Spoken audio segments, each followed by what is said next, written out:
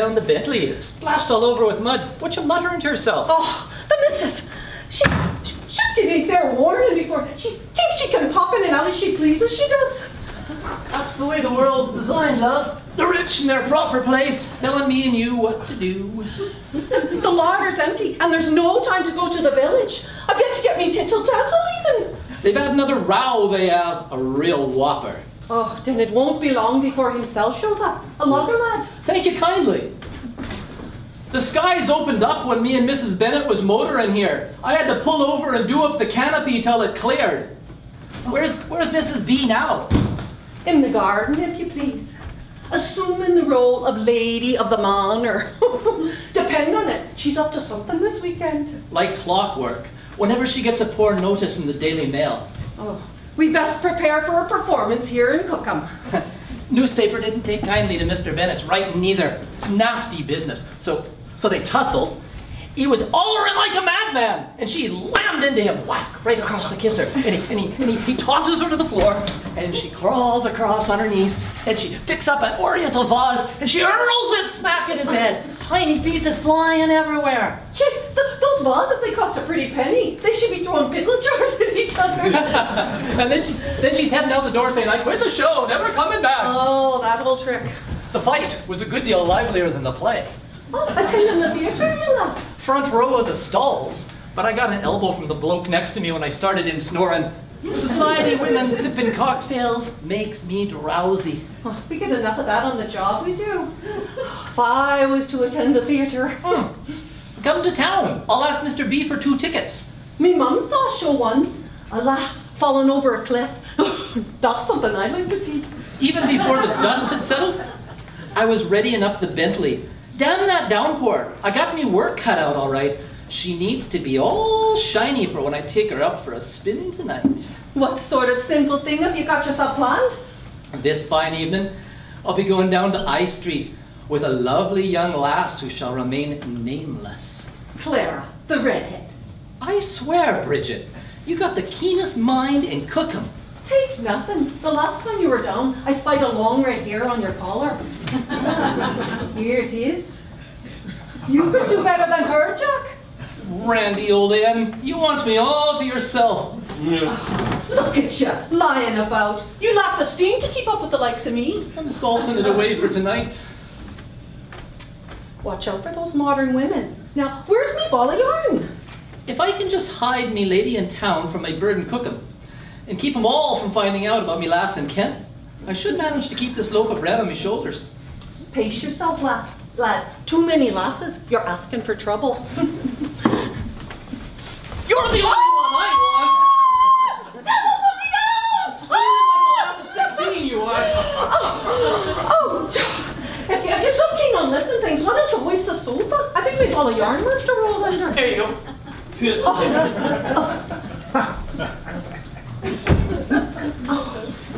Woman in the air isn't proper, Jack. Someone may see me knickers. No one here but you and me. I seen your knickers plenty. Poking through me dresser drawers, are you? Hanging from the clothesline like sails on a clipper ship. Don't be so bold, Jack. Get yourself back to work so I can make this place fit for the living. Come sit by me.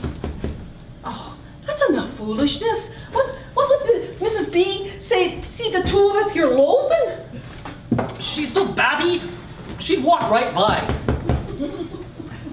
I was hoping to be finished knitting me muffler this weekend. Not very likely. You're like a mum to me, Bridget. Ah, you're a good lad. Not like those ruffians tooling around on High Street. Ever since the poor thing died, when I was just a lad, I've never had no one do for me what a mum does. How'd she go so young? Tis a sorrowful tale. It's all right, lad. Another time. What with you, with no mum, and me with no kids to call me own? Who else do I have to be knitting a muffler for? It's for me, is it? Do you fancy the colour? Matches me eyes. Of course it does. Off with you and, and hop to it. Oh.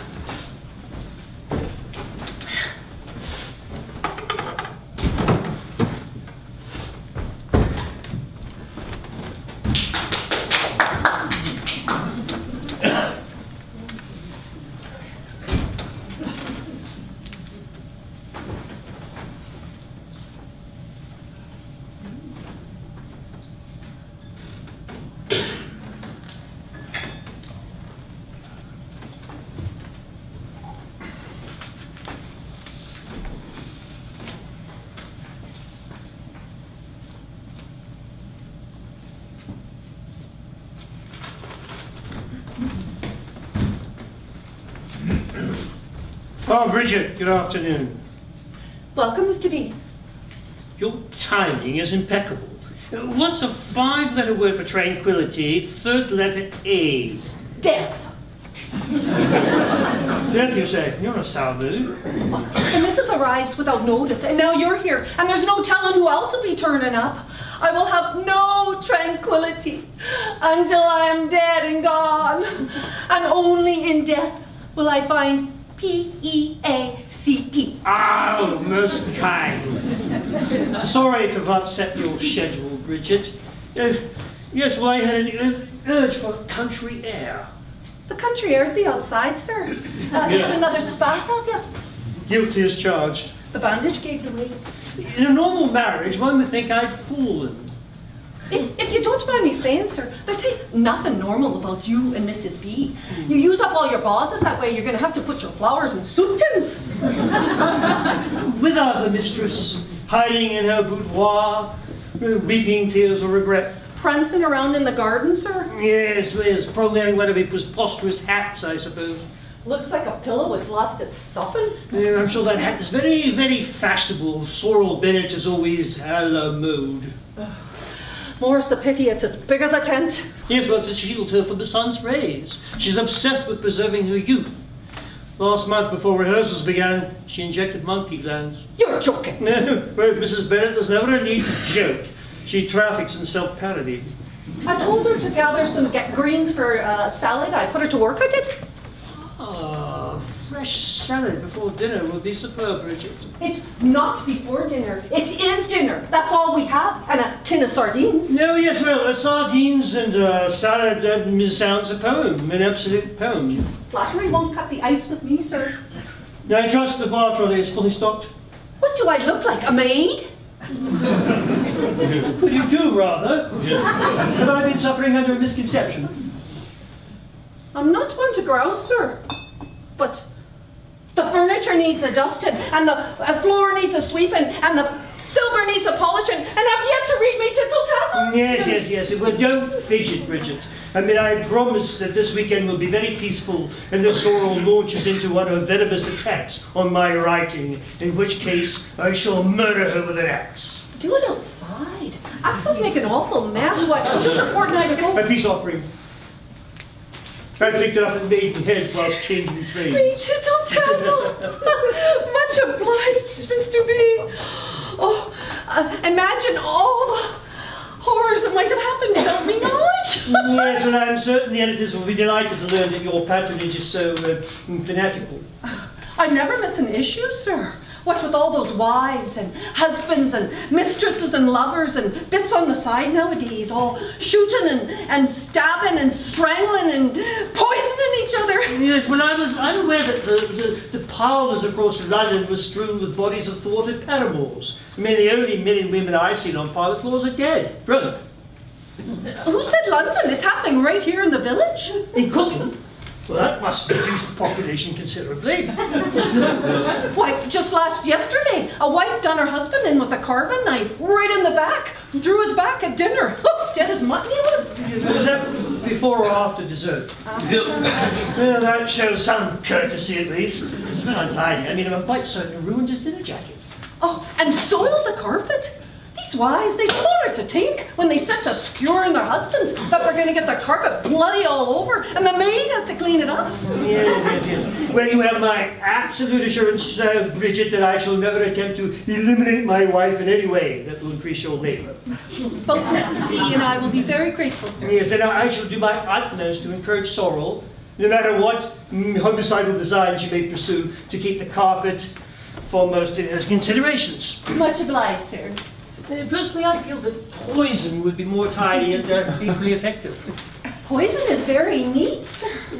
What's the most difficult poison to detect? I mean, your talk of murder has aroused my curiosity. Well, there's aconitine, arsenic, chloral, cyanide, strychnine, prussic acid, and strychnine. I, I believe that my sleeping draught contains chloral. Is that, is that lethal? Well, you'd have to consume an awful lot of it. Most of the time, it'll just knock you flat for a few hours. Oh, yes, but I must say, Bridget, your, your expertise in these matters is astonishing, if a bit dis- disconcerting. I could solve a crime quicker than any of your posh police, including Inspector Benson. Is that that chap who barged in here after Sorrel threw herself down the stairs? I believe you gave her a wee push, sir. That's the reason she rang him up. But there was insufficient cause for her to summon the constabulary. Coppers, they don't know a thing about human nature. They make up their mind who the guilty party is, and the evildoers toddle off as easy as you please. My motto is assume the worst in everyone. Your complete lack of faith in human decency is astonishing, Bridget. And I've been sentimentalizing the rustic characters I write. Put me in place, sir. I've been in service longer. Lolling about, reading your gory stories, should tarnish the working class if Mr. B put the likes in. Yes, well, I'm afraid I'm entirely to blame. I've been assailing Bridget with my inquiries. Well, I'm off. Uh, more time to read me tittle tattle tonight with a hot toddy. Afternoon, Mr. B. Surprised to see me? We've trod this path before, sir. Looks like she fetched you a good one. Yes, I wondered why everyone in Paddington Station was uh, staring at me with moist, sympathetic eyes. Mrs. B's got a mighty arm. Give her that. Yes, yes, she does. Yes, I wonder. Jack, I'm, I'm afraid I don't know what to do. She, she may have hit me, I think. If you like, I can teach you how to duck. That would be most kind. I, I mean, I've acquired no practical knowledge at the Royal Academy of Dramatic Arts whatsoever. I mean, my training in phonetics has left me completely estranged from the, the, the perils of marriage. I, I should have taken the seminars unarmed combat. You tossed her to the floor in one quick move, sir. A fine throw that was. Yes, yes, well, I must admit the, the satisfaction I once derived from hurling Mrs. Bennett to the carpet has subsided over time. I suspect it's the way of all marriages. Precise, precisely why I'm a bachelor, sir, and shall remain so all me days. Jack, mm, have you ever hit a woman? Not a once, sir, on me honor. You don't say. I, I mean, I assumed in the heat of the moment, uh, servants would knock each other about like so many cricket balls. I admire the ladies, Mr. B. Wouldn't biff 'em if me life depended on it. Well, the truth be known, Sorrel is the only woman I've ever sorted, and only when she strikes me first.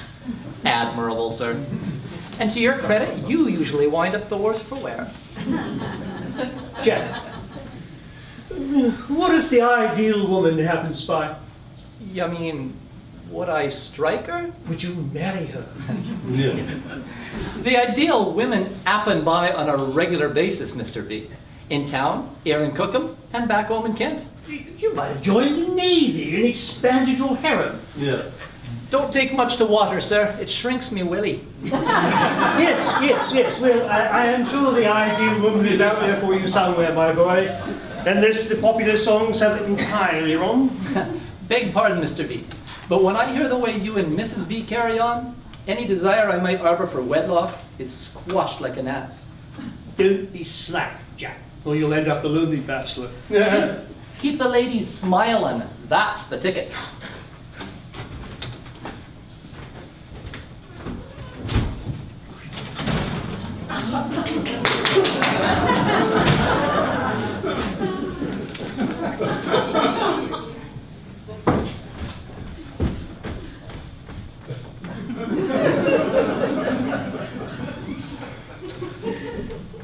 Sorrel, darling. What's an eight-letter word for murder? Final letter E. Marriage. I believe the editors prefer a synonym, not motivation. I offered a synonym. Yes, well, do you intend to murder me? Now are you planning a a homicide? Time will tell, dear. The weekend has only begun. it appears that some pigeons have roosted in your bonnet. Is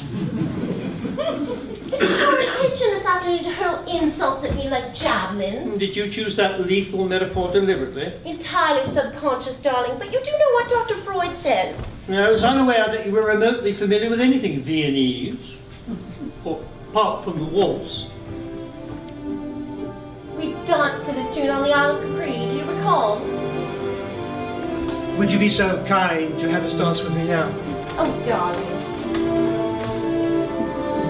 I suppose I shan't go anywhere without you pursuing me like a demented hound. Did you think I'd remain in our flat amidst the pile of shattered glass? You flung me to the ground, darling. That was uncharitable. There was no cause for you to fling of walls, especially the mean. You are heartless. And we are meaningless. It was spiteful of you, Flor Coral. Mm-hmm. Spiteful, that's rich. There I was on my hands and knees, and you offered me a cocktail. I thought it was a very generous offer, given that my mouth and face were beginning to swell. The so-called Ming belonged to your first wife. It was a cheap imitation, had been irritating me for years. You are my first wife, as I've often reminded you, but very likely not the last. What could I have done to inspire such venom? Well, your snoring is particularly impressive. That bandage is quite dashing. Hmm. Before we retire for tonight, do you think I might have a quick look see at your black and blues? Oh, I believe fate is trying to tell us something, Edward. Uh, I find fate impertinent, actually. Always interjecting its uh, views in the most gratuitous way, in the vaguest of terms. Our song has ended. The time has come for us to go our several ways. Sorrel, we're, we're Siamese twins, bosom buddies, Juno swans, two peas in a pod. You may cling to those tedious idioms while I tell you my news. Who is it this time? I've invited Walter Pierce for the weekend. You must return to London at once. You impudent cat! I mean, invite who you like. Uh, uh, uh, a missionary, uh, an American for I choose, but I will not have a politician inside my home. I hadn't expected you to make an appearance, or I wouldn't have asked him. You desperately wanted me to follow you here, Sorrel, admit it. Can I help if I'm irresistible to those in the halls of government? Where they denounce immorality the week long and totter off to the mistresses come weekend. I am not Walter's mistress. Of yet. And he's not a mere politician, darling. He's a diplomatist, and I plan to travel the world with him, wearing extravagant hats. In fact, Mr. Pierce was recently elected, along with many other like-minded charlatans, on a platform dedicated to eliminating decadent behavior entirely. Entirely? Well, that should keep him quite occupied. They despise people like us. Walter Pierce adores me. He adores the characters I've written for you. My Daphne, my Daryl, my Ariadne. He wants to save me from you. no, no, no, we mustn't quarrel, Sorrel. It'll set a bad example for the servants. Afternoon, Mrs. B. Done some gardening. Yes, Jack, and I'm unable to determine which of these greens are edible, and which I shall use to poison Mr. Bennett. Still at it, eh? Good day, Miss B. Brung in some provisions, have ya? Bridget, these greens came from the outer edges of the garden. Do you recognize them? There's Baneberry, Black Nightshade, Foxglove, Hemlock, Sturgis, Thorn Apple, and you? Me? You, you as a new tree. They're poisoned, they're all poisoned. Bridget, I'm flabbergasted. Not only are you able to identify each weed, but once again you've alphabetized your list. Oh, this is a catastrophe. Whatever will we do for salad? But there's a wee bit of lettuce. And there's always a tin of sardines in the larder. Yeah, Mr. Pierce will have to satisfy his appetites in some other ways. Walter Pierce? What's this? I've invited a friend for the weekend, Bridget. He should be arriving at the station any moment now. Oh, is that so? And what will he eat, pray? Well, you'll have to cobble something together with the sardines and lettuce. Mm-hmm. Not to worry, though. I'm certain he's so he's re- bound to be so utterly mesmerized by my aura. He'll hardly notice the menu. Me can stay in the Caligula room. We don't have a Caligula room. We do now, apparently, and I'm certain we haven't heard the last of it. There's not enough food to be getting us through the weekend. Mr. Pierce will starve. Very likely bring chocolates. Mm, beware, Sorrel. I believe your Act Two costume has begun to split at the seams. Must I take the Bentley back out into the mud? Hey, Jack, would you do away with Mr. Pierce on your way back from the station? and spare me the effort? Bridget, would you be so kind as to put some of these greens in Mr. Bennett's salad? What's going on here? There's a plot afoot, that's for certain. A murder mystery. I detest those plays. They require the audience to scour every phrase and turn of events looking for clues. We're not expecting anyone else, are we? No, No. this is the entire cast, Bridget. A murder mystery needs a few more suspects, don't it? Not this one. Off I go into the muck and mire. I do believe we've offended the servants.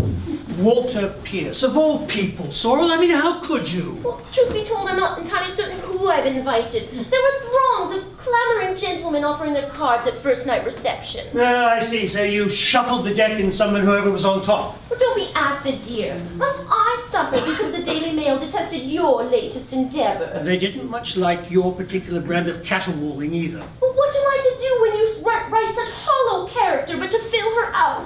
There is nothing hollow about Daphne, and you needn't have bellowed the entire third act. Daphne, she's another in an interminable line of world-weary society women, laughing gaily while she nibbles caviar and sips cocktails. Talking of which, fetch me a drink, darling. I feel stifled, Edward, asphyxiated. My life is a bore.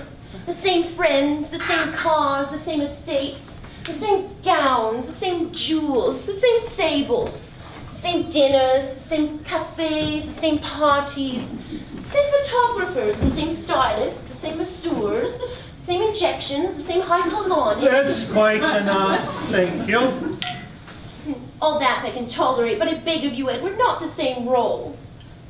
The women I have written for you are vastly different creations. It's your interpretations that are mm, ploddingly, monotonously the same. I cannot go on this way. I shan't return to the Garrick. You will be at the Garrick this Monday next when the curtain rises on Daphne's Delight, or your youthful and very determined understudy will assume the role, which incidentally is more suited to an actress of her range and proportions. But All my most devoted friends insist I've maintained the figure of a maiden. Ha! Maiden art, more like. Face facts, darling. Our days of bright young things drew to a close years ago. My public will not stand for an understudy. If you make this habitual threat once more this weekend, I shall ask Gertrude Lawrence to replace you in the role. Gertrude Lawrence is a third-rate hack who's had a tremendous amount of luck. The Daily Mail feels otherwise. Miss Lawrence confirms without a doubt that she is the reigning queen of the London stage. She possesses an incandescent charisma that hurls the entire audience into sudden and abject slavery. How dare you memorize that quotation, Edward? I'm an artiste. I love to perform the great roles. Which roles exactly? I'm not entirely sure, but I've heard a lot about them. Something classical or biblical even, where I die in the end.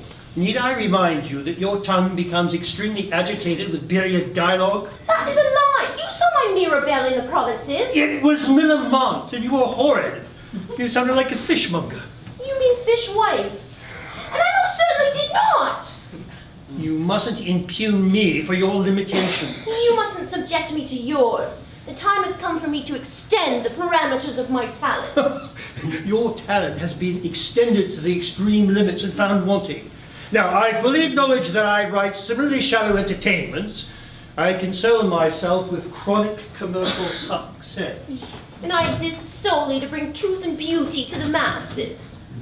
Were you possessed of this notion before or after your high colonic? We must so cease this vulgar sparring, Edward. This isn't one of your mildly amusing plays. This is our marriage. The principal inspiration for any malice in my work.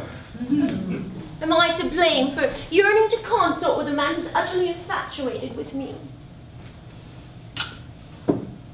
I should like to know what his wife thinks of these weekend events, these escapades. He certainly has a wife. Oh, politicians require spouses to be elected.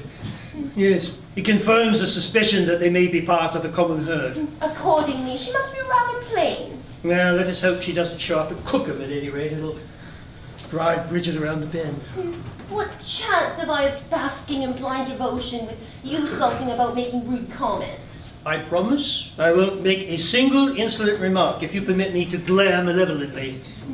Edward, your ill manners do betray the depths of your affection for me. They do rather confuse anyone else who's subjected to them. I had hoped my ill manners would reveal the depth of my loathing for you and frighten away everyone else. Concede it, dear. You're mad about me. Now, do you promise to stay upstairs in your study for the entire weekend as an act of penitence for your multiple grievances? Am I to be exiled to the tower like um, Clarence of York? I was unaware we knew anyone at all in York. Richard III's brother, murdered at the end of Act One. Well, let that serve as a warning then.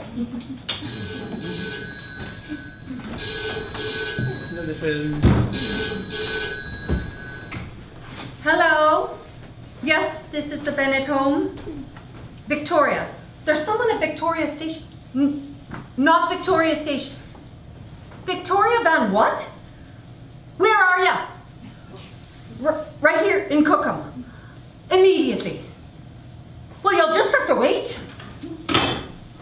I don't like this one sliver. Well, who was that on the telephone, Bridget? It was a, a Miss Victoria Van Rott, and she's at the station dem- demanding Jack retrieve her. Victoria? What on earth is she doing in Cookham? You must have invited her. Well, I don't believe I did. Then she'll have to sleep in the attic. But I was in such a state when I left town, I can't quite recall.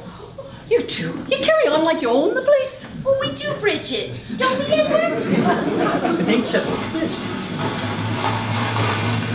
That is my exit cue. I shall leave you and Mr. Pierce to your gambles, whilst I plot my revenge. Do be a dear while you're up there. Write something worthy of my talents.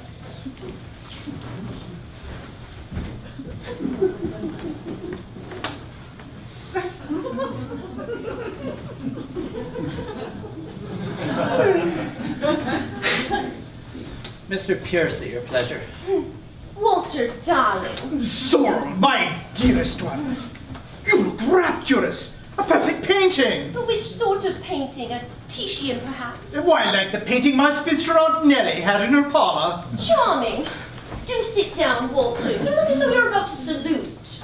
Bad tidings, Jack. There's a lady at the station needing a lift. What lady? A Miss Van Rott. Victoria? Mrs. B doesn't even know whether or not she. Once more under the breach. It's a bit nippy out there. I'd like a cup of tea, please. Not on your life. Pay her no mind. She's rather peeved this weekend.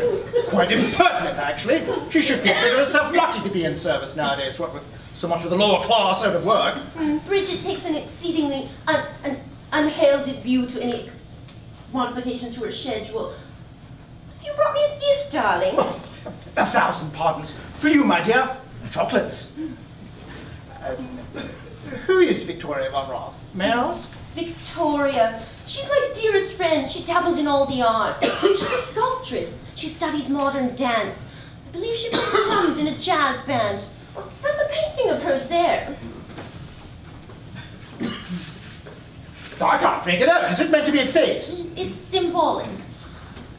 Symbolic of what? I'm not quite sure, actually. I should convey the plain truth. None of this modern shilly-shally. I must convince her. Is Miss Van Rott open to persuasion, or is she quite set in her ways? Well, Victoria's open to all sorts of persuasion, except that perhaps the type you have in mind. She's rather bohemian. That will never do. Hmm. There's no time to waste. Difficult days are ahead for this country, and we must all buck up. You are adorably priggish, Walter. I presumed our sojourn would be private. Hmm. Victoria rather loathes the country. I haven't the faintest idea why she's come. After a week in the musty halls of government, I find the country air invigorating. I would have sworn you were a diplomatist. No, I'm among the hundreds of proud conservatives recently swept into Parliament.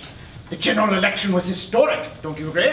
I shall put this country back on the right track. Hmm, and not a moment too soon. Now, why don't you pause for the cocktail and come sit by, by me? Brandy?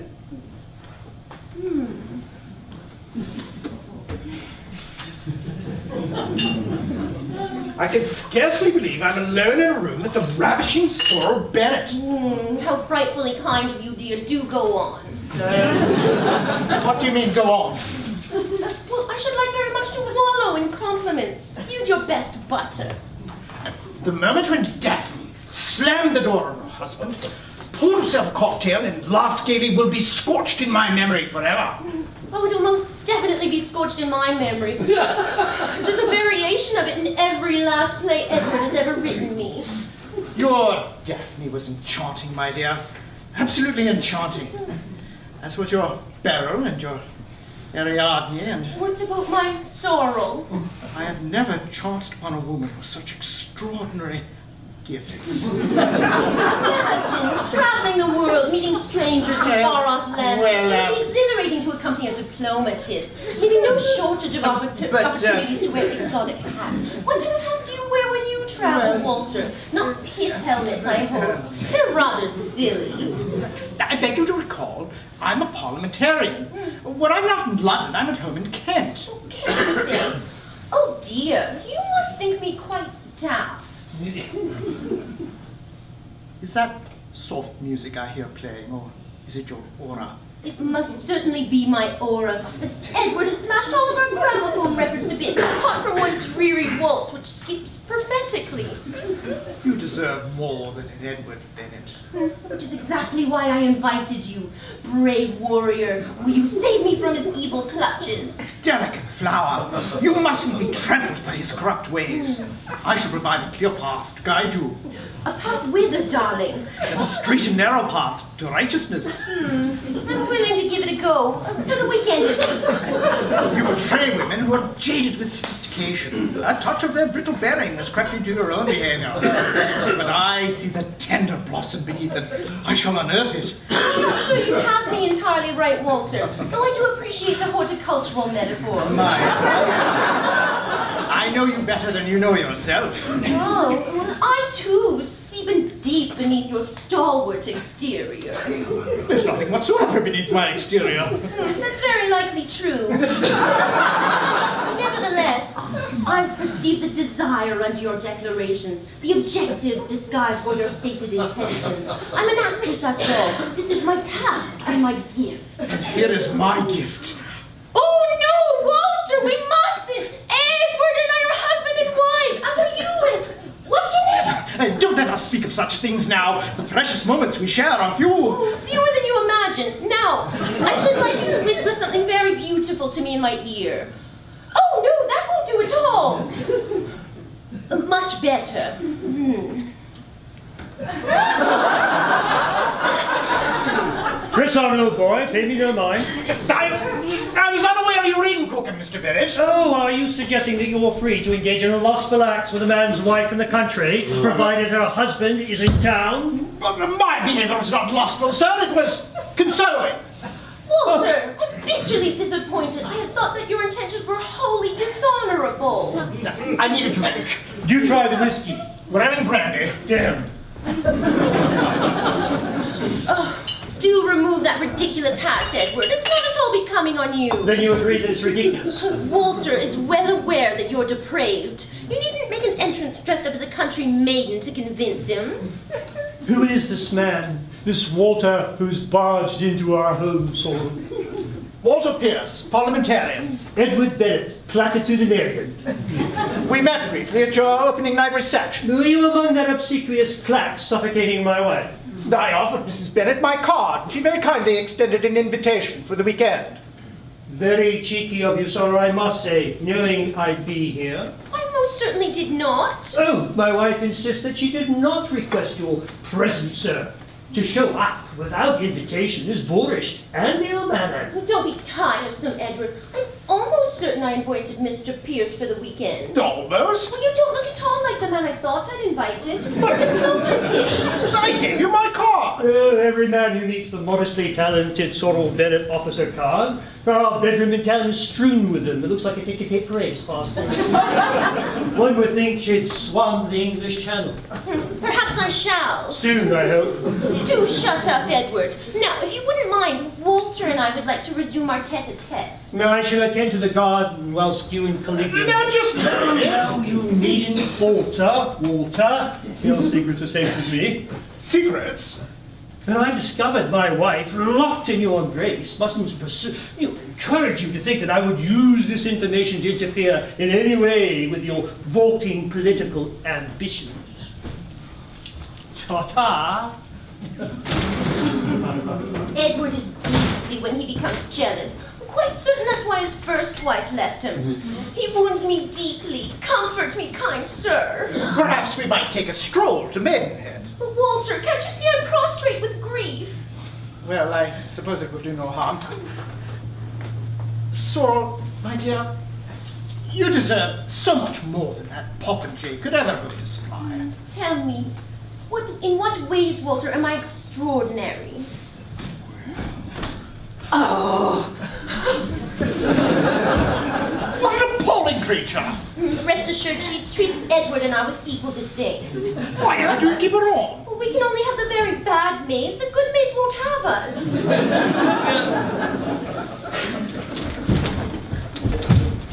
Where's Edward Bennett? Gardening. Who on earth is that? Pay him no mind.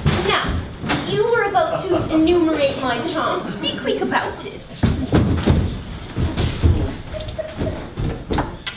Mr. Bennett, I found you at last. How did you know I was here? Your flat in London was empty. You have been prohibited from entering our flat. I crawled up the green pipe and peered through the window. No one was inside, just a pile of rubble. So I bicycled here. From London? That's 35 miles. Hmm, you must have very muscular thighs. There's no time to waste. The Conservatives have gained control of Parliament. We are all doomed. Rubbish! Who is this lunatic? And careful. Eric is perpetually feverish. You mustn't inflame him further or he might explode. Now is a perfect time for that stroll to Maidenhead. That would be an extremely long stroll for you, Sorrel. Cease this bourgeois prattle. Yeah, I found that mark quite amusing, actually. Yeah, I shall use it in my next play. Eric, I thought you'd been institutionalized. I just escaped. How very clever. Mr. Bennett, you're a celebrated writer. But not a very good one, actually. The world adores you. Hmm, For an opposing view, might I refer you to today's Daily Mail? The time has come to put your influence to the greater good. You must forsake cocktails and caviar and write plays which inspire the working class. Don't be silly, Eric. Those people can't afford to go to the theater. And what has everybody got against cocktails and caviar of late? I've been quite partial to them since the day I was weaned. I bemoan the waste you have made of your skills. If I'm forced to attend a play with a message, I shan't dress. What's all this hollering? And who's this maiden what? You flaunt your wealth while workers such as she can barely scrape by. I must keep Sorrel in hats. Hmm. Thank you, darling. Face facts, Mr. Bennett. Your days as a bright young thing are over. I think I should like another cocktail. There's no time for drink. Certainly you should make time, Eric, or you'll dehydrate. I shall not imbibe while one person is thirsty, nor shall I consume ah. while one person is hungry. How long are you staying, lad? Don't persuade Mr. Bennett to see the evil of his ways. Oh, don't behave like an hysteric, Eric. If you're spending the night, you'll have to sleep in the root cellar. It's through there. There's no time for sleep. The world is on the edge of collapse. But you hold the key to its survival. Allow me to say, assure you that the planet's endurance scarcely depends on the likes of Edward Bennett. Hold on. You're Walter Pierce, the worst of the lot. You and your ilk will drag this country into the sewer. The country is already in the sewer. My ilk and I shall exhibit. And your first initiative is to seduce my wife. Am I part of a political agenda? How delicious. Mr. Bennett, let's away to your study and toil together. With my vision and your talents, we shall create a work that will enrich all mankind. Off the furniture, laddie! Eric, after all that peddling, might you tidy up a little bit? There's no time for tidiness. Yeah, you might have seen that coming. Who is the greater sinner? He who robs the bank or he who owns the bank? he who poses the question. You mean to do away with the free enterprise system? Profit and wealth must be distributed equally. If you insist, Eric, I'll donate some of my hats to charity. The poor do not want your hats. Their lives are sufficiently challenging without reducing them into ridiculousness.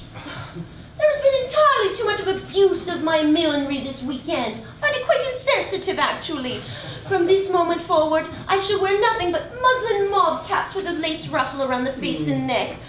I suppose that will appease everyone. You've missed my meaning entirely. I'm thoroughly confused, Eric. Now, come sit by me and explain.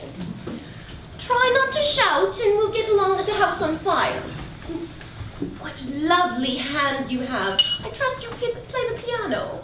A useless occupation. I have vowed to engage exclusively in pursuits that can rouse the masses. The bugle, perhaps. Leave the masses be. They deserve a rest. I beg to the teeth of this discussion. Walter, you must allow that I have many admirers. Eric among them. Isn't that so, Eric? You are a great artist, Mrs. Bennett. Hmm. Eric, what type of plays do you propose that Mr. Bennett writes, considering that his talents are extremely meager? Plays of social significance, like those of my idol, Bertolt Brecht. Yeah, sounds like a hunt. No, please don't let's be beastly to the Germans, Walter. After all, we won the war. Didn't we, Edward? I fought the front lines. Vote for you. Are you mad? Well, he is, Walter, quite. His wits went wool gathering years ago. Now, do be quiet, or I shall send you home. Play along, old boy. Hmm. Do be quiet, Edward. Now, Eric, tell me, is there a leading woman's role in this play, or just an ensemble of workers waving fists and banners? His St. Joan of the Stockyards features a great female lead. Joan of Arc. Brecht modernized the historical figure to emphasize the workers' plight. You would be outstanding in the part, Mrs. Bennett. Your timing is serendipitous, Eric. Joan of Arc is precisely the type of heroine I've longed to portray. And in the end, she's burned at the stake. What a finale. Mm, You think your limited abilities could penetrate a suit of armor? Enough, Edward. What type of hats does she wear? Well, I believe Joan of Arc wore a helmet. Oh, well, that will never do. She worked in a meatpacking plant. I doubt she wore anything elaborate. It could get caught in the machinery. Eric, I feel how somehow this meat packing Joan of Arc isn't suited to my particular gifts. No, and I so wish to see you go up in flames. You couldn't care less about my career, Edward. You are cruel, cruel and heartless. Soothe me, Eric. Miss Victoria Van Rott has arrived from London. Sorrel,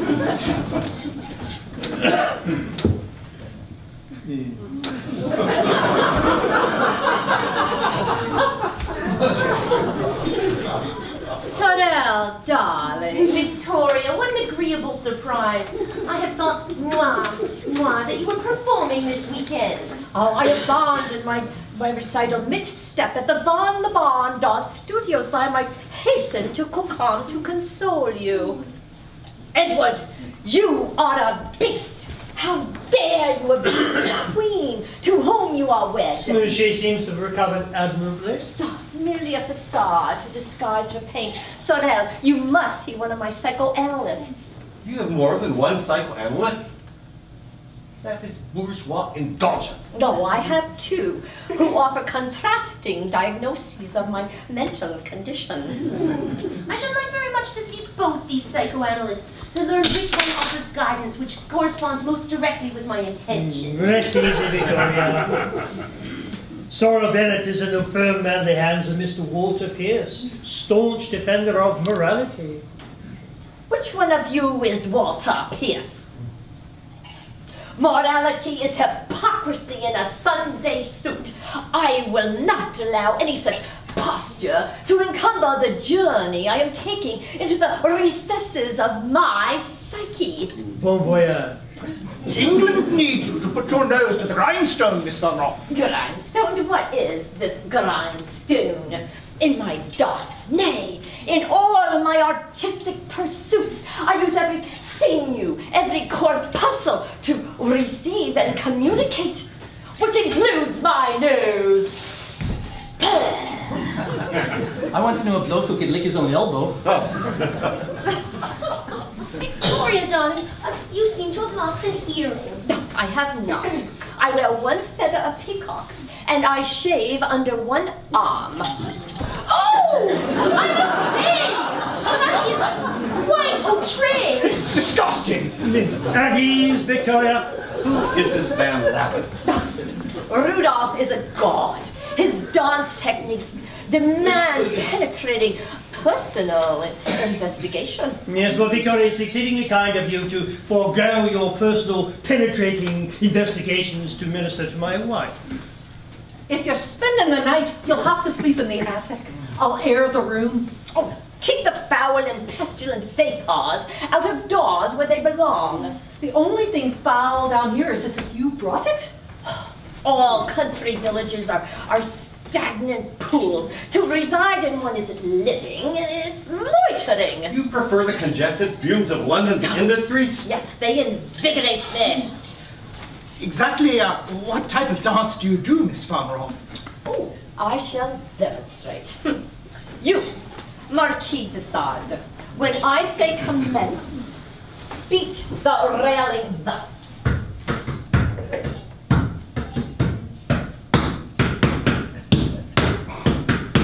Is clearly in your area of expertise. And you, scruffy interloper, rattle the ice bucket thus.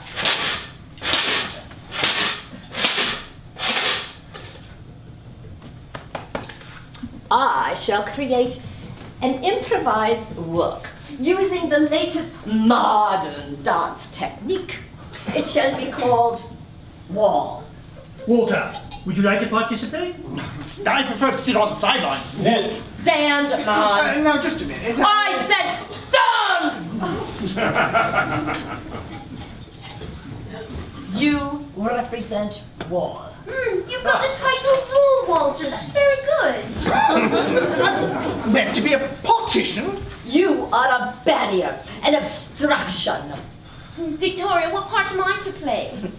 You shall be tree who casts a shadow over wall. Which sort of tree? A royal empress, perhaps? The dogwood, with only the age rings. Tree shall respond intuitively to the inner meaning of the piece through the movement of her branches. I embrace the challenge. Hmm. Art is nigh. Let us commence.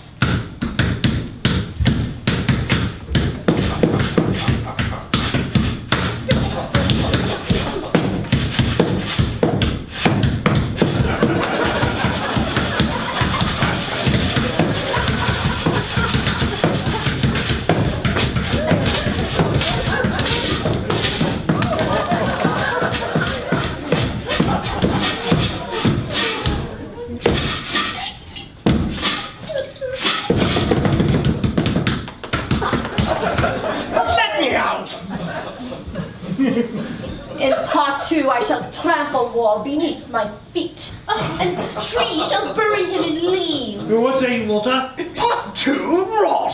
War must be recast. I haven't the slightest idea what any of this was meant to signify. There is no single meaning. Endow the piece with your own interpretation. But if it's incomprehensible, what's the point? It pains me to agree with this fanatic, but he is spot on. Ignore them, Victoria. The piece was marvelous. I cannot tolerate another minute in this house. You're all raving mad. Happy to give you a lift to the station, Governor. You're in the presence of genius. I was unaware when I accepted your invitation for the weekend that I was to be center ring in a circus. I found the performance deeply flawed. Flawed? In what way flawed? It was too abstract to be of any real importance, and to be frank, plumb silly. Hooligan! Jackal! Oh my, I've aroused the wrath of Victoria Van Rott. No, I say you're getting quite catty, Eric. Eh? I, I learned from the master, Mr. Bennett. Oh, Sorrel, I did not hurl myself into this fetid country air to be subjected to these heretics you call friends. Mm, Victoria, darling, Eric is not my friend. He's in hot pursuit of Edward. Interesting. And as for Mr. Pierce, he's not at all the man I thought I'd invited. Well, truth be told, I've been attending Gertrude Lawrence's first night reception for years, leaving my cards. It's only because she's never extended an invitation that I accepted yours. Gertrude Lawrence, is that so? Well done, Mrs. B. This is appalling! This is exactly what would come from government funding of the arts. Oh, I say, you look lovely in this. Here, here, try this. No.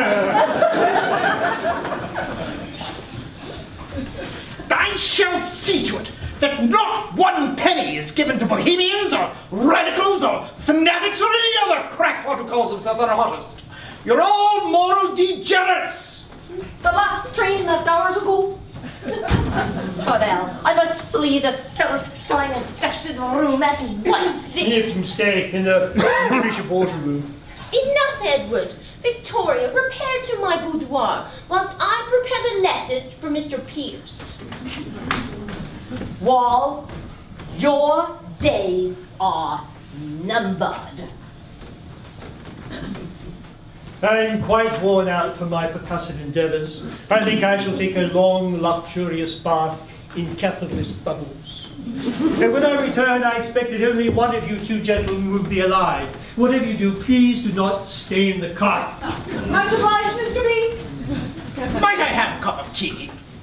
You'll be getting lettuce, and I don't want to hear another peep out of you. I shall prepare the Caligula room. That is the most insolent maid I have ever encountered. Bit testy this weekend, sir. Matter of fact, we all are. Were she in my employ, I would dismiss her on the spot. She's too decent to be working for the likes of Walter Pierce. How dare you speak to me in that manner? Good night, sir. Have a nice long rest. Only a couple as deranged as the Bennetts would keep those two in service. You prefer congested work from those who slave for you? I demand it. It is high time your entire class was exterminated. Adieu, Walter. I regret things had to end this way.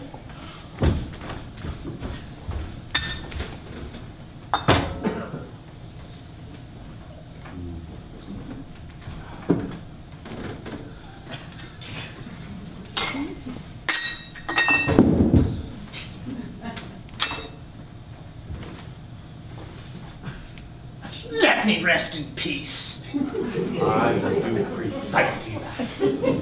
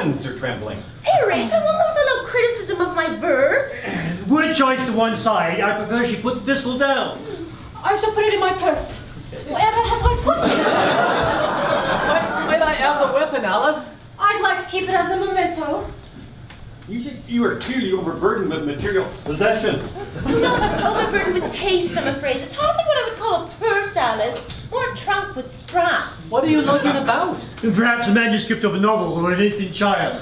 Oh, that's not the plain time. Not for artillery, I hope. I have only the one pistol. Where'd you acquire? It belongs to Mr. Pierce.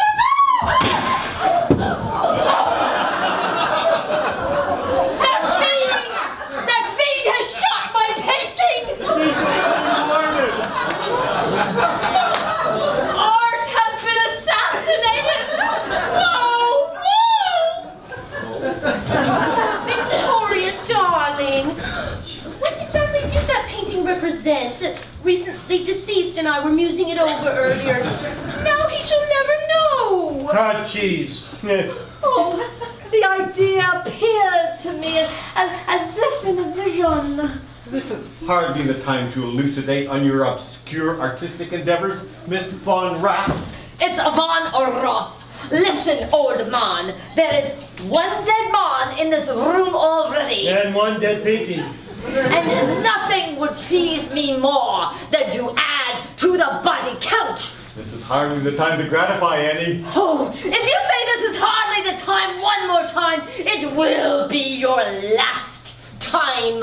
Let's have no more talk of killing. I got my hands full with this one. Oh, that old man is deeply aggravating.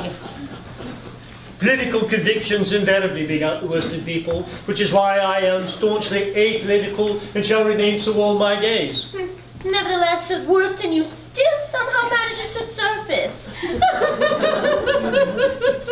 Please do not, do not whimper, Alice. It annoys me. Moreover, dear, having spent time in the company of Walter Pierce, everyone in the room would agree that you had ample cause for murder. Yes. Nothing to be done about it now. The obvious suspect is never guilty. I shot him. I confess. That cat won't fly, dearie. But she, she was caught red-handed. Well, whatever does it matter who killed Walter? He's dead and gone. We mustn't let it ruin our weekend. what say we play a parlor game? That suggestion wants tact, dear, even for my taste. Well, I perhaps we could restore Walter to life. Oh Bring it in, Alice. I could ring up a clairvoyant to conduct a seance. We could have him back on his feet in no time. What has been done cannot be undone. Hmm, What's that from, darling? The Scottish play. Which Scottish play? Surely there's more than one. yeah. is. And I've seen countless actors play dead in that exact same position. Arms akimbo, jaw agape. I'm entirely convinced that Walter has shuffled off this mortal coil. The techniques involved with simulating death on stage must not replace medical diagnosis. Simmer down, lad. Well, perhaps Walter is a very good actor and he's pretending to be dead out of spite. Hmm, But his interpretation of Wall was entirely convincing. He was typecast. And moderately more stiff at present than when he was alive. As the guilty party, I am eager for confirmation that the victim is in fact deceased. I shall ring up the doctor.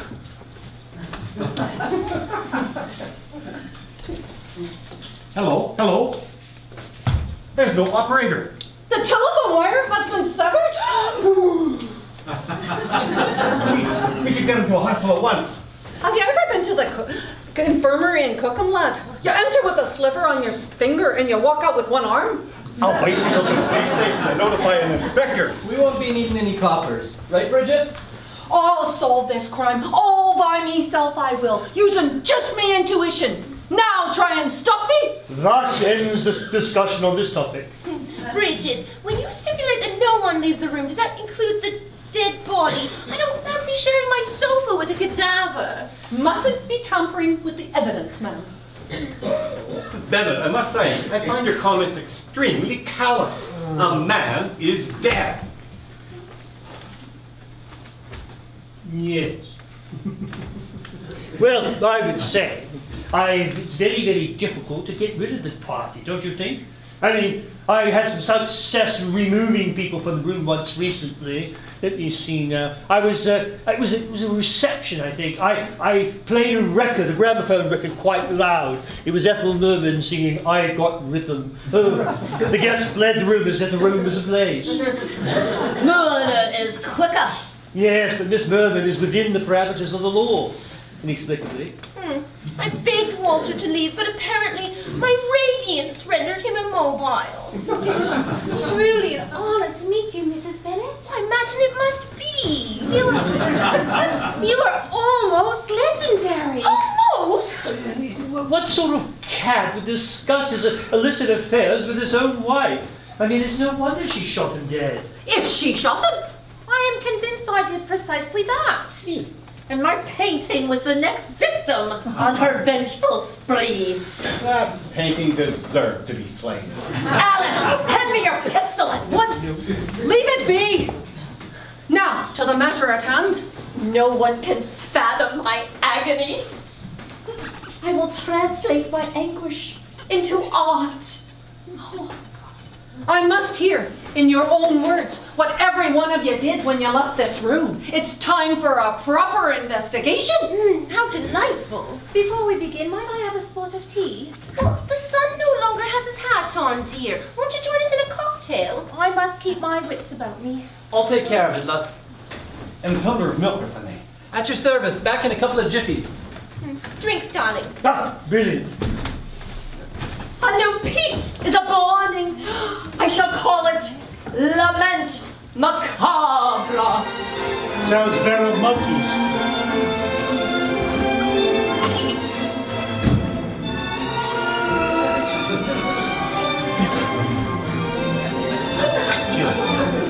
Alice,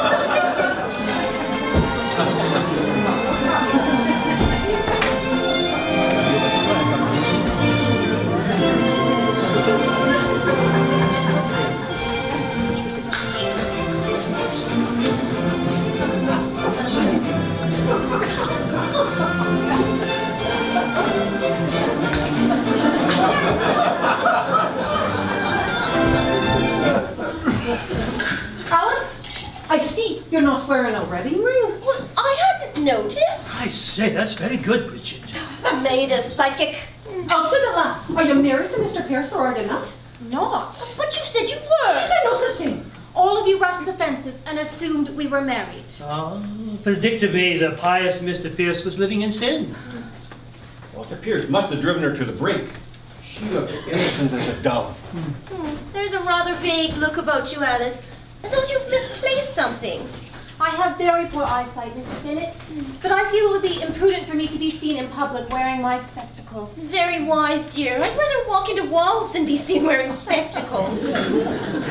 Men look distinguished in eyeglasses. Women look morose. Are you suggesting that if a woman requires spectacles, she should walk around without them for the sake of vanity? Absolutely. Put on your eyeglasses, Alice. You're among friends.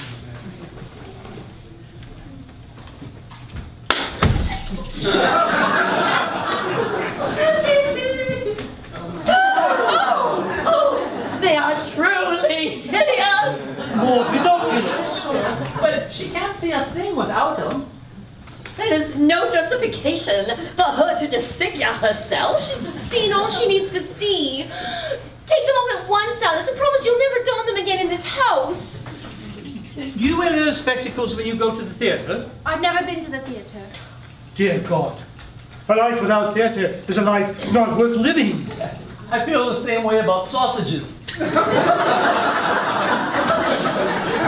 I, I, I should like to offer you a complimentary pair of tickets to Daphne's Delight. The poor girl has suffered enough. When you tried to gun down Mr. Pierce, where were your spectacles? In my purse. Do you see that hole in the the wall, just there. I feel a bullet with the tip of my finger. It is still warm. So I didn't hit my target. Not by a long chalk, dear. Hmm. Alice, might I suggest, and this goes against every instinct of my celebrated fashion sense, if you want to shoot anyone in the future, put your spectacles on, at least for the moment. But I so wanted to kill him. I packed all my belongings to take with me to prison. Mightn't you have some of your wardrobe shipped ahead to your destination? so that when I travel. Holy Mark betrays a profound misunderstanding of the criminal justice system. So I am entirely innocent. Oh no! I beg you, Alice, to find a less piercing way of coping with your failures. If you aren't his wife, why'd you want him dead? Being married isn't the only reason to want to kill someone. No, it is most customary. Wife or mistress, she failed utterly in her mission. If I were in her boots, I would be devastated, suicidal even. Oh no! Eric, we mustn't criticize poor Alice any further. We've already been forced to witness the gruesome display of her wearing spectacles. How much more degradation can a woman tolerate of an evening?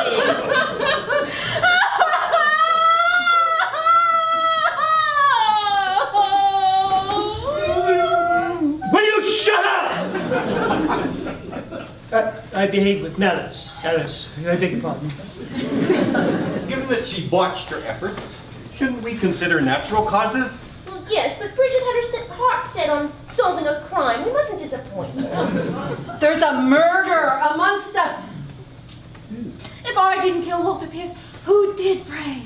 We are all suspects. No one has ever suspected me of even the slightest infraction. Save the Daily Mail. Edward, must you mock me? I demand another cocktail. Oh, would anybody fancy a drink? Victoria? Oh, never. Alcohol interferes with my brain waves. When I drink, I become entirely incoherent. For our own safety, we must identify the culprit before he or she strikes again. And the room will be bristling with corpses. Tonight, however, I shall have a martini. It, it is a special occasion. That's a queer way to put it. I refuse to stand along this dead body a moment longer. I find his posture entirely unsuitable. yes, well, one thing we've all learned this evening, death is a detrimental to poise of any sort. You want, uh, you want me to set him up straight? Take him away, Jack. He is boring me. Where to? The garden seems appropriate amongst the flowers.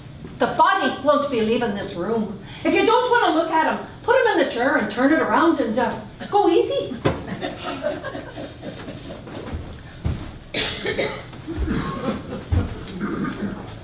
Eric. He's had too much caviar.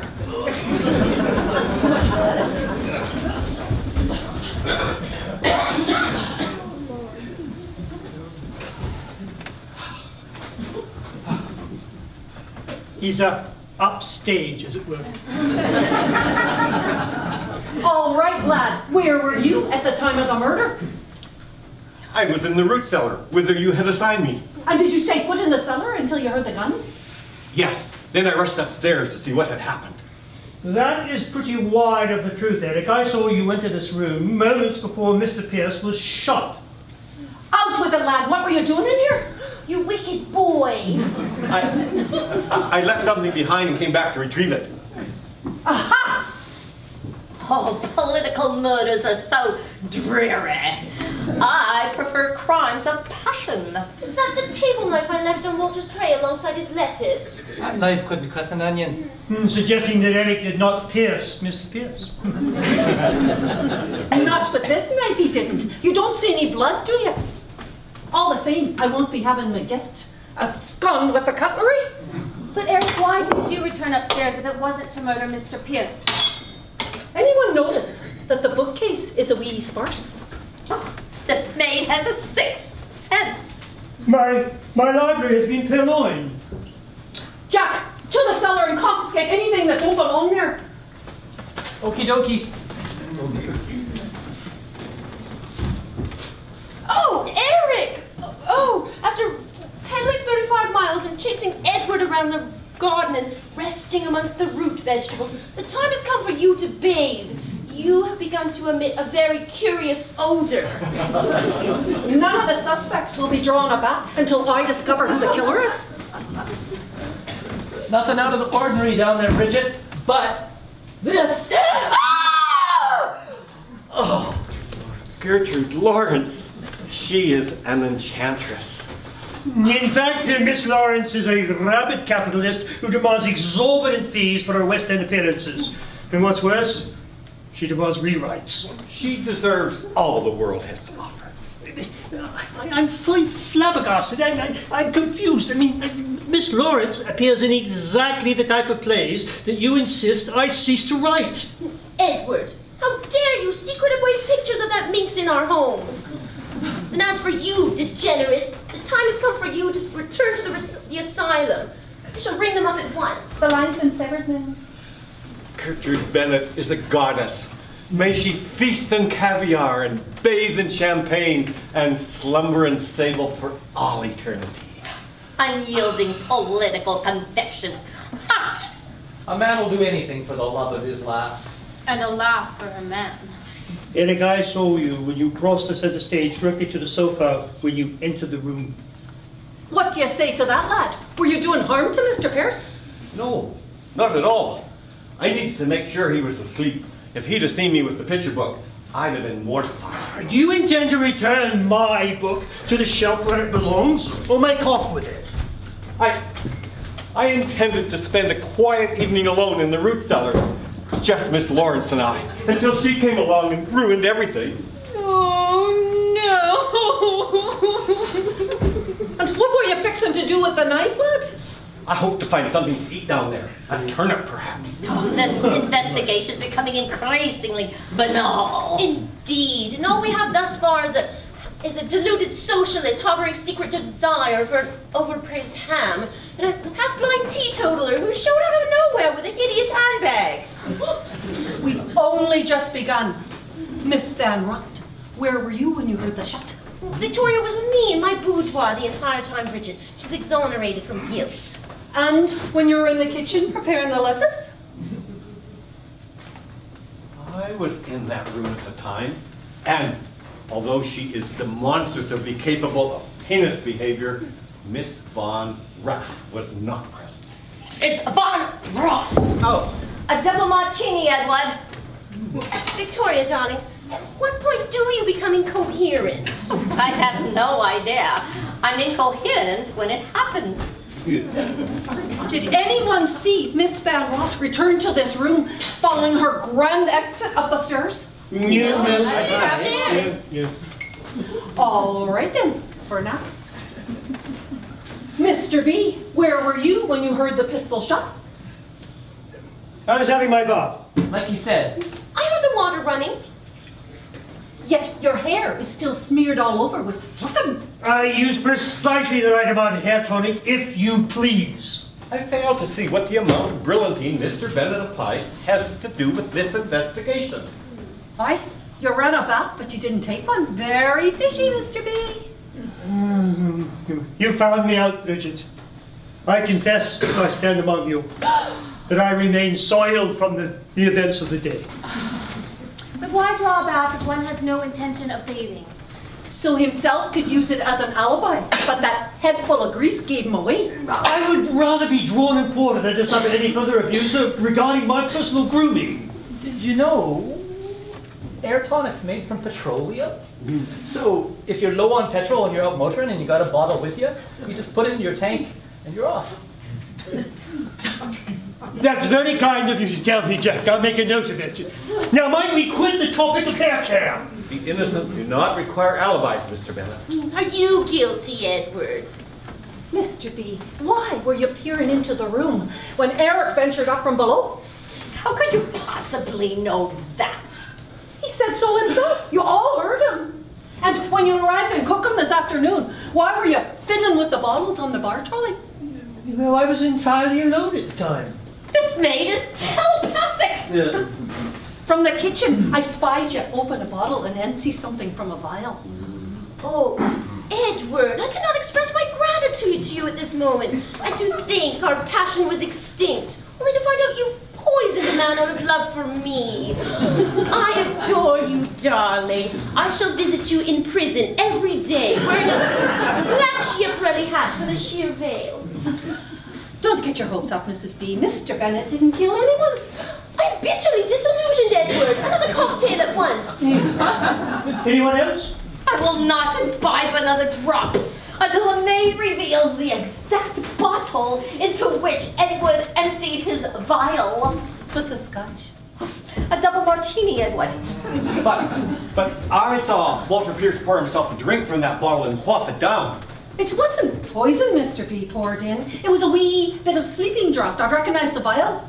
Is that so, Edward? Did you intend to put all of your guests into a coma? I suspected that Sorrel would be spending the weekend with uh, the remains. So I thought that it would be interesting if at least one of them was sufficiently sedated. So the thought of Walter and I in embrace was so traumatic to you that you decided to tranquilize him? Well, actually, darling, it was you I was hoping to put under. Yeah. I thought it would be interesting if after a few drinks Walter found you snoring like a bulldog. Do not snore. I've never snored a day in my life. Ha! Beg pardon, ma'am, but I can hear you from outside. Shatters the window, she does! Your snoring is why I took up sleeping draughts in the first place. I hardly thought that when this investigation began that it would stoop to the level of malicious personal attacks. This is an outrage. Yes. Well, I must acknowledge that that dreadful roar you make is accompanied by a slight whistle, which I find enchanting. Thank you, darling. Now, why don't you come here and sit by me? Uh, Alice, as reluctant as I am to hurl you into the void, you must relocate.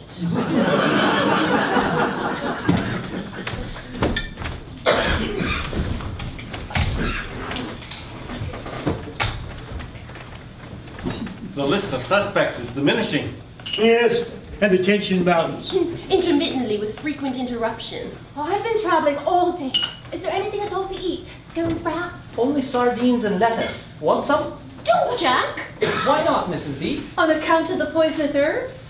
This maid is paranormal. I must drink. Are you suggesting that Mrs. Bennett had poisoned herbs in the salad? What kind of home is this?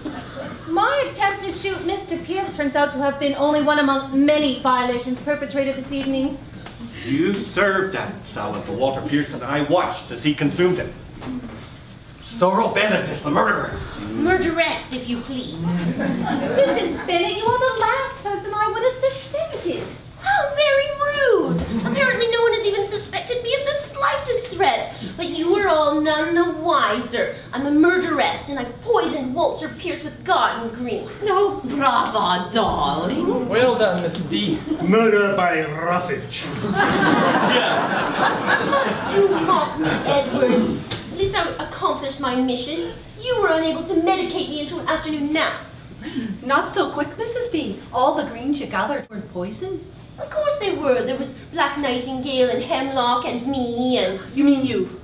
I harvested them, yes. Along with the regular mustard greens and watercress. But Bridget, you identified each uh, weed alphabetically and, and claimed they were all poisonous. Heard you myself, love. Aye, 'tis true, but 'twas a wee lie. But why would you attempt to mislead us? We are your employers. You expect that to inoculate you? A couple who sully their liquor and toss poisonous salads? Jack spilled the beans about the big row the two of you had in town. Cannot tell a lie. And then Mr. B shows up and empties the contents of the vial into the scotch. Next comes Mrs. B with her basket full of suspicious greens. Well, I perjured myself. I claimed all the herbs were poison. And then I threw out all the dangerous herbs. Very naughty of you, Mrs. B. This weekend is a catastrophe. First I invite the wrong man, and then while the rest of us stop, he enjoyed an appetizing salad. Did you seriously intend to do away with me? Well, to truth be told, I wa- wasn't quite certain that the poisonous herbs would prove fatal. I just thought you'd been violently ill. No, how very kind. You could never poison anyone, ma'am. You're too batty, if, if, if you don't mind me saying. Which implies, by process of elimination, that Jack is the murderer. Jack! This is no time for euphoria, Victoria. No, oh, brilliant, Eric, I must say. Much obliged, Mr. Bennett. She's all tanked out. Miss Van Rott, how is it that when I turned on the lights, you were at the front door? Oh, Bridget, this investigation's becoming increasingly tedious. We're all utterly exhausted. What We're you trying to hide, Mrs. B? Nothing, nothing at all. That line reading was entirely unconvincing. Edward, I'm not performing in one of your plays. Well, I'm beginning to think you could Miss. Van Rott, where is your scarf? Upstairs in my bedroom. Oh, Sit down. Our friendship is boundless, cosmic, but I cannot permit you to prevaricate on my behalf. Edward, a double martini. Maid, I have the intelligence you crave. Victoria, darling, you mustn't reveal all your secrets. Make it a triple, Edward, and I'll divulge everything. There's no such thing as a triple. Well, two doubles at once. The sooner she's comatose, the better. I came down the stairs, passed through this room, and hurried outside. Out of doors, nature goes against your very nature. Hmm. I couldn't wait any longer. I had to see Jack. He is my boyfriend. Jack! You're joking. Victoria, I live it. Here I've struggled all these months to keep your love affair a secret, only to have you broadcast it in a drunken stupor. I am mad about the man. I was shouted from the rooftops. Corroborate, Jack. Oh, I met Victoria when I drove her home from one of the Bennett's receptions. She was working in clay at the time, and she asked me to pose for her. Tell me you kept your skivvies on, lad. Stripped down all the way. Jack has an extraordinary physique. His sculpture's on display at my studio and has electrified all who has seen it, but no one knows it's the Bennett chauffeur. That's because it looks like me Uncle Bob after he got run down by a lorry. Physiques are not meant for public display. From that night on, our love has been uninhibited. Lust, you mean? No, that too. Together, we explored the depths and the heights. we were fervent, fanatical. So, so you came to Cookham not to, well, to pursue your explorations of Jack's physique, and not to console my wife at all. of course. I knew from the moment she arrived. How lovely of you to care, dear. Without Jack, I am an empty shell, a husk, a carcass. Well, intriguing from a class perspective, what does this forbidden love affair have to do with the murder of Walter Pierce? Do you love her, Jack? Not now, Alice. Tell me if you love her. I must know. Who are you, woman? Oh, Alice, is it absolutely ne- necessary that you sport those spectacles? It is essential. I must look Jack in the eye. Are you from Kent, dearie? However, did you know? So you're Jack's hometown lass. We've been sweethearts since the age of ten. Haven't we, Jack? Hmm. So you ventured all the way to Cookham to see your Romeo. How romantic. Time is when Jack would come to Kent every month. But his visits have become less frequent. Oh, Edward, how I long for our starry-eyed youth. Yes, as we lurch into blurry-eyed middle age. You have annihilated me, Jack. It's me he loves. I told you, lad, too many lasses, you're asking for trouble. You mean they are more? Am I part of a menagerie? I can't lie. I, I got a lot of a lot of women. A girl in every port. That's me nature. But it's why I'm a single man, like I told you, Mr. B. And I treat them all kindly, and I respect them. And I never told any of them that it was the only one. Oh, I am reduced to nothingness. Oblivion.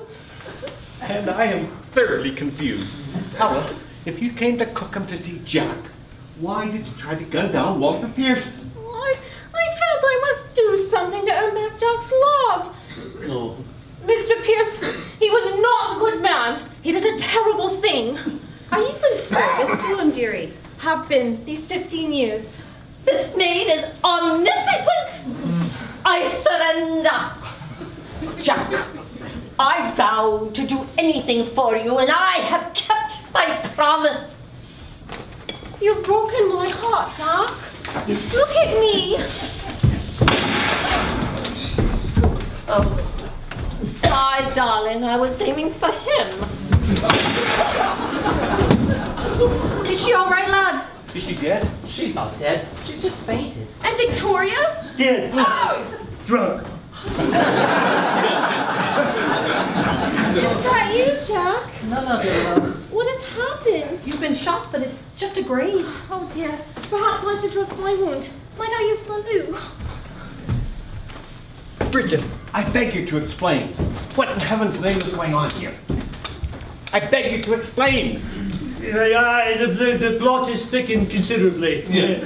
Much more compelling than any of your recent efforts. I demand to know who killed Walter Pierce. It's time for me to have me say. Walter's parents had a fine estate in Kent. After me dad died in the war, me mum moved us down there to be in service to the Pierces. Alice and her mum, they worked there too. Walter had a taste for the ladies, he did, and for drink. He came home one night stinking drunk, lost his balance going up to his room and knocked me mum downstairs. Not on purpose, mind. The poor thing never recovered. The Pierces tried to hush up the entire affair. They even pushed a few quid me way to try to keep me quiet. But Walter, Walter could never look me in the eye again. I moved to London when I got a bit older. Took jobs here and there to try to push the whole thing out of me mind. Wound up in service to you, Mr. B. But I could never quit me loathing for Walter Pierce. And then this very day, out of the blue, I hear Mrs. B say that she's invited the man who caused the death of mean, mum. Is this a confession? Did you murder Walter Pierce for revenge? You you told Miss Van Rott what Walter did to your mum, am I right, Jack? When I picked her up from the station, Ladies and gentlemen, hang on to your hats. Now I have the answer you've all been waiting for. for. 'Twas Miss Van Rott who murdered Walter Pierce. Victoria? Strangled him with her scarf, she did. There are red marks all around his neck to prove it. but Bridget, you don't. I know, lad. Victoria didn't let you in on what she was planning. She sneaked down to this room and wrapped the scarf around his neck and choked the life out of him. And then she ran outside to look for you. Must have hidden the scarf somewhere out there. It's in the Bentley. Well, I, for one, am not in the least surprised. My dearest friend is a murderess. I always knew she was capable of great achievement. Pity she's immobilized and unable to accept your acclaim. You are both utterly delusional. Well, yes, we know, Eric. Isn't it divine? And Jack, I'm astonished that two women, worlds apart, would go to such lengths for your love. Jack's always had a way with the lasses he has. I'm sorely envious. Sorrel, would you ever kill on my behalf? I'll limit my brutality to hurling the occasional box. Oh, darling. An idea has been stirring, prompted by this evening's events. I believe I have fled. So this weekend has served as inspiration. I believe it has. So murder and all, it was entirely worthwhile.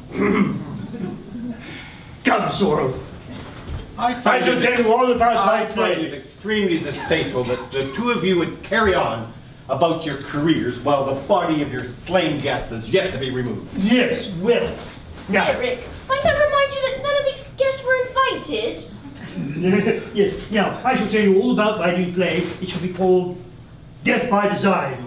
Oh, Edward, am I murdered or am I a murderess? You shall hear all from the first scene where the most uh, chauffeur and the maid engage in seemingly idle banter, which in truth holds the key to the entire plot. Oh, Edward, I beg of you, I must know this one thing. Do I die in the end? You, my dear, shall suffer the most spectacular death that has ever been seen on the London stage. I am over the moon, darling. I never doubted you for a moment. There's my girl. I am convinced that Edward and Sorrel Bennett are the most narcissistic, egotistical, self-absorbed couple in all of England. I'll have nothing more to do with them. Push it off. I'm bicycling back to London at once. Can't wait till day night, lad. I cannot tolerate another minute in this house, thank you very much. And I say, it is high time you phoned up the inspector. I don't fancy anyone will be going anywhere soon. Here's your picture book, lad. Mrs. Bennett would want you to take it. Oh.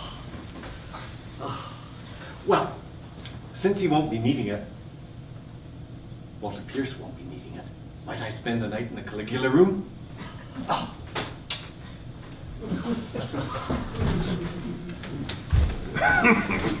Bridget, I'm an honest man. who would never mislead you in any way. Ah, but the marks on Mr. Pierce's neck were made by a strong man's hands. As soon as he was alone, I crept in here and I snapped his neck with one quick move. Ah. Miss Van Rott had no idea when she wrapped the scarf around him. When I told her about Walter and me mum, she said, leave it to me. Never entered me mind she'd come and I'd finish him off. I don't want to be reading no more about me tittle-tattle. I don't want to do the tittle tattle anymore. I don't want to be reading no more about murders. I've had enough of that business I have. Guess it's time I called up the doctor and Inspector Benson. Not with that phone you won't. Bridget, who was it severed the line? Bridget! I wanted to solve the crime, Jack, all by myself. But it's not right that Victoria should take the blame for something I done. Don't worry about it, lad. She won't. Why won't she? What do you mean? My apologies, Jack. It caused you so much trouble tonight. It's all right, love. I know what you did, but what you tried to do, you did for me. You acted out of true love, dear. I carry last yar. Whatever's happened to my handbag and spectacles? There you go. You look lovely. Why don't you spend the night here and cook them? Dearie, there's a spare room. That's awfully kind. Hmm.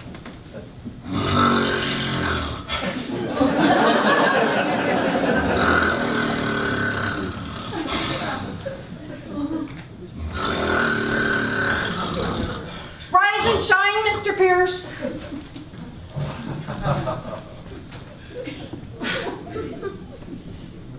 What time is it? Past your bedtime. Was I napping? I feel surprisingly well rested. You missed all the excitement. Yes, well, I will need a lift to the station at once.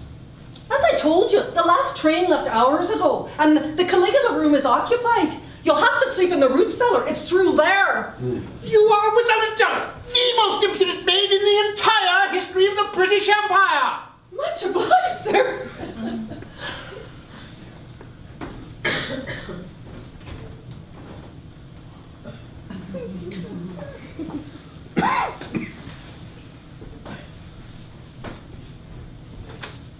Wall is resurrected. Mr. Pierce, you're alive! Well, of course I'm alive!